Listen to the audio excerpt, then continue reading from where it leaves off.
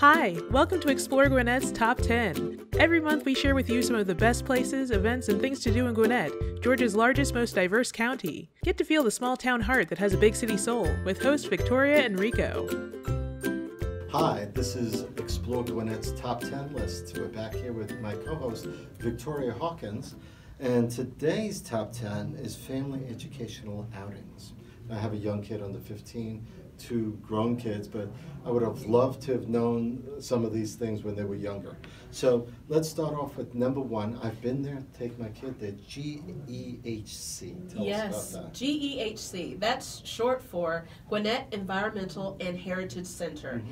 And it is exactly as the name says. It's basically um, a nature center, a museum of kind of all things that are indigenous to Gwinnett. It talks a little bit about the history and the beginnings of Gwinnett. Mm-hmm. It's also um, Gwinnett's first LEED certified building. Yes. So when you pull up to the building, the roof is all green. It looks like it's covered mm-hmm. in grass and mm-hmm. like all kinds of stuff that comes from the trees. Right. But it's actually a part of um, their structure for their building and their LEED certification. amazing? It's it's really really cool. And when you go inside, you can learn all about their building and how they reclaim water and all those kinds of things. Um, it's a really really cool place for kids. They do tons of summer camps, nature walks, 5Ks all kinds of different things that your family would love to do. And the museum is a bit interactive also, I think. You it is. do all sorts of things in there. It is, and they have some permanent exhibits as well as some revolving exhibits. All right, cool. So it's constantly changing, so you can come back and see something wholly new. Absolutely. Excellent. Number two on the list is Rancho Alegre. Yes. So that's located over in Dacula. Mm-hmm. So it's kind of on the outskirts, which you would expect of a farm. Right. Um, alegre is actually a Spanish word for happiness. Ah. So Pilar, she's actually the owner of the farm. Um, she's awesome. She teaches several workshops throughout the year workshops on everything from soap making and making bath products and all natural body products, mm-hmm. um, also canning and preserving Preserve. and you know um, vegetable gardens and all uh-huh. kinds of things. Yeah. Um, anything you would want to learn in that realm, Rancho Alegre is the place to go. They also do some um, family farm adventure days where they have like pony rides and picnics and all kinds of stuff like that. So it's a lot of fun for the little ones, and even older kids would really enjoy the workshops that they offer. Cool. I like the the preserve part of it. It reminds me of my uh, my mother-in-law that she would can all sorts of yes. things. Yeah, neat stuff. You'd have it the rest of the year. Uh, Treetop Quest, number three. Yes, so Treetop Quest is located in Buford. Uh-huh. It's actually on the same campus as GEHC that we talked about just a few moments okay. ago. Um, so it's actually picture an obstacle course up in the trees. Uh-huh. So there's zip lining, there's all kinds of different things to do. Um, and, and they say it's for ages 3 to 93. So if you have a three-year-old, right. they have a smaller version that they okay. can do. Okay. But then it's also for adults because a lot of people think, okay, well that's something for kids, but it's something for adults too. Trust me, I've only been able to get to the bottom level really? for adults. I haven't gone above that, but they have four or five levels for adults, and it goes up higher each time. Um, so it's really exciting, a lot of fun. Um, definitely something that your kids will be begging you to go back to again and again. Uh, I'm sure they would be. Yes, that is cool. Uh, hopefully, no one has vertigo. Number four, Hudgens Art Center. Yes, Hudgens Art Center is located in Duluth. Okay. So it is Gwinnett's premier art gallery and museum and learning center. So they offer a ton of art classes, everything from um, sculpture to watercolors, acrylic painting, all sorts of things. Um, also, they even offer classes in Korean and classes in English. Really? Yes, so they're trying to address all the markets here in Gwinnett. So that's really exciting and that's awesome. That is awesome. It is. And the best thing about it, free admission. Really? Yes, totally free admission. Um, they do. You go wrong with that? Exactly, exactly. What's not to love? So they um, do um, revolving exhibits throughout the year. Right. So you can definitely go on their website and see what their newest, latest, greatest exhibit is. But they change it regularly throughout the year. They have a great gift shop there as well. Um, they also list all their classes, summer camps, things like that. So it makes a great family day. Wow, lots of things to do there. Number five, halfway through the list, is the Veterans Museum. I didn't know we had one, really. Yes, we do. We have a Veterans Museum that is dedicated to Gwinnett veterans. So it's located inside the historic courthouse on the square in Lawrenceville. And when you go there, it's so interesting to see two or three packed rooms full of old uniforms patches, replicas of different um, aircraft, and things like that. Mm-hmm. And it's all from people who are local, who have donated these items because they want other people to enjoy it. Wow. Um, there's old Army yearbooks and different things like that that you can kind of look through and just kind of absorb the history of um, you know, these Gwinnetians that have served in the military. Wow. Um, so it's really, really cool, and it's always great to talk to the veterans who volunteer at the museum. Mm-hmm. Um, they love to share stories and talk with people who go. Um, we always at Explore Gwinnett bring people to that museum, um, you know, journalists and things like that. Right. And there's always, like I said, really interesting people there to talk to. I'm sure there's lots of great stories to Absolutely. tell. Absolutely. Unbelievable. Buford Community Center and Museum. Yes. So people might be really familiar with the Buford Community Center. They put on um, a lot of outdoor concerts and movies, and they host different plays and things like that. And that's all fabulous. They do a great job at that. But a lot of people don't realize that there's also a Buford History Museum located in the same building. The museum is open 11 a.m. to 5 p.m. Thursday through Saturday. Mm-hmm. And um, Buford has a really, really rich history um, in leather making. Um, the Bona Allen family, which yeah. when you ride down Main Street in Buford, there's all those big, beautiful homes down at the end of the street. Yeah. And those all belong to the Bona Allen family, who owned all the leather um, tanneries right there in downtown Buford. Never knew that. Yeah, so you'll learn all that if you go to the museum. so there's um, a lot of different artifacts like old uh-huh. saddles and old leather making equipment and all kinds of stuff. Wow. And it's not just um, about the tannery. There's also um, history on folk art. Mm-hmm. There's a place in downtown Buford called Slotin Folk Art. Mm-hmm. And people who are into that style of art are pretty familiar with that. They do auctions throughout the year and shows throughout the year for folk artists. Wow. So there's a lot of history on that, on Tannery Row Artist Colony, history about that and uh-huh. different artists and things. So it's just a really cool place to go to yeah. kind of learn more about Gwinnett. Yeah, it's amazing. I mean, this list is probably, you know, out of this list, I mean, some of these things I've never, and I've been here since 95. Right. It's amazing how many Gwinnetians don't even know what's in the county. Exactly. This is That's what we're here for. Is, yes. This is perfect. so Gwinnett County Public Library has, and I know there's one near most everyone, lots of things to offer too, right? Yes. If you don't know, now you know. We have a great library system here in Gwinnett. So um, a lot of people, when they think of libraries, they think it's so antiquated, old, like they don't really have a need for the library anymore.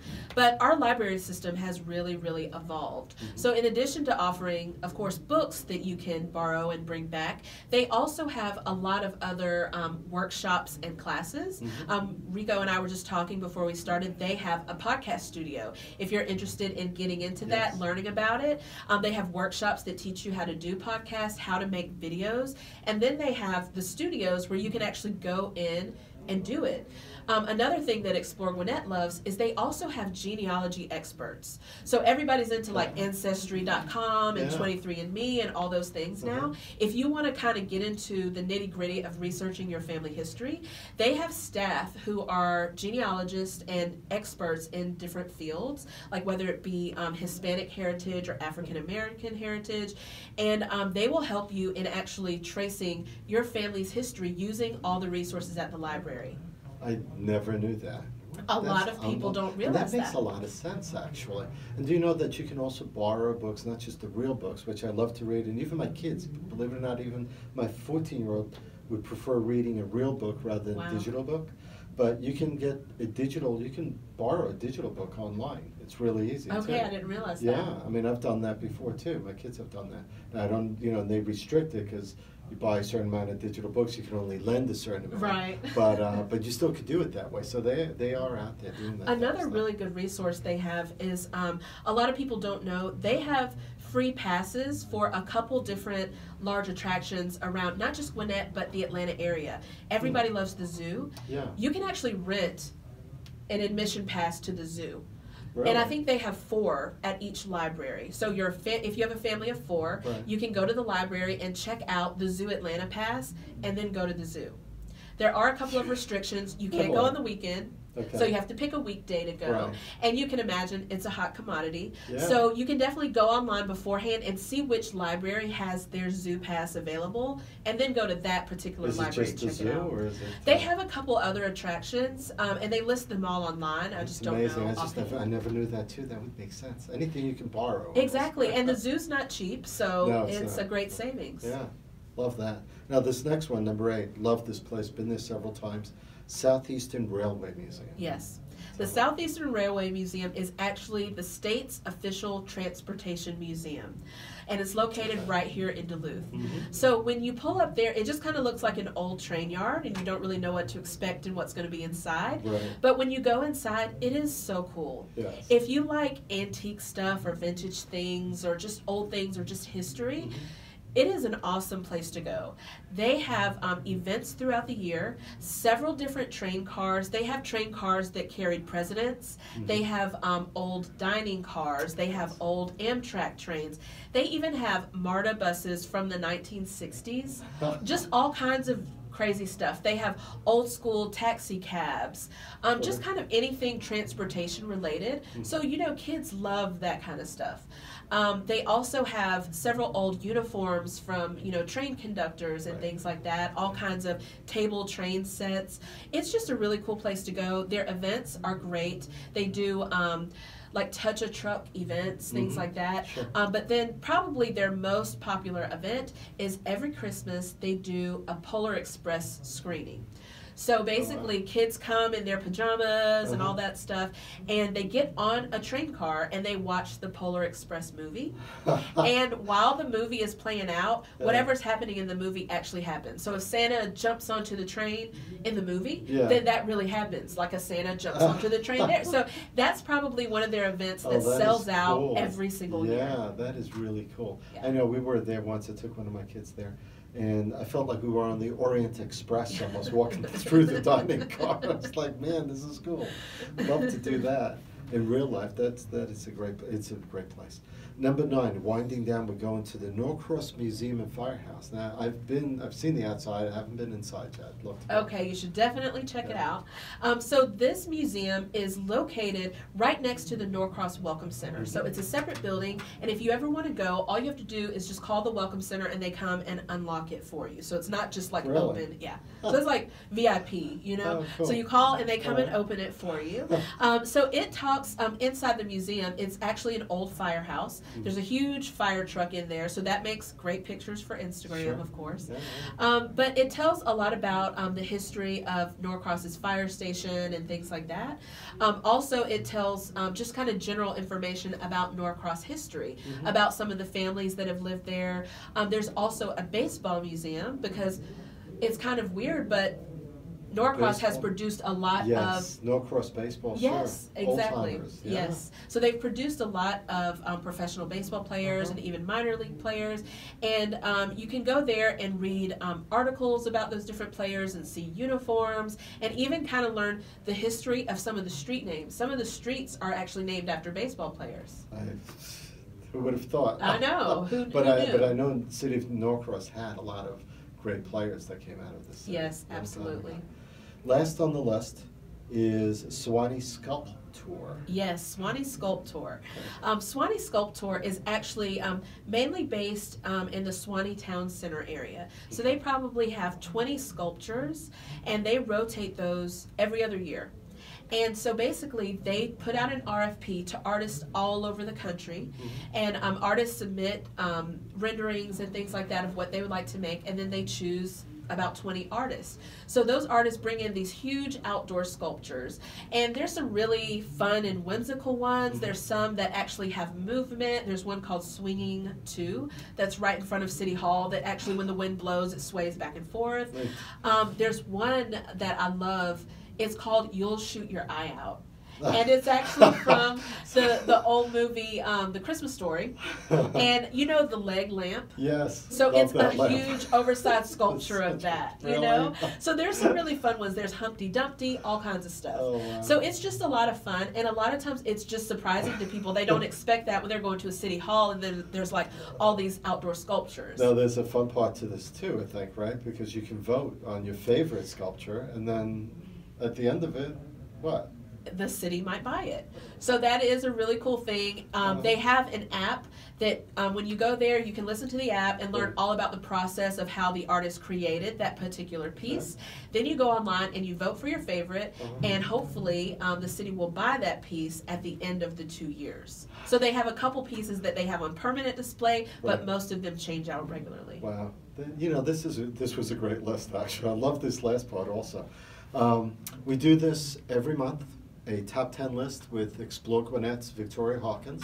Um, this is a great way to find out what's going on, and every list has a different thing. Check out the date nights list uh, that was done a month ago, and uh, you'll find some great places to, to, take your, your better half or your friends to as a group date. Uh, thank you for joining us. We'll see you next month. Join us every month for Explore Gwinnett's top 10 list on the Peachtree Corners Life podcast and website. See you next time.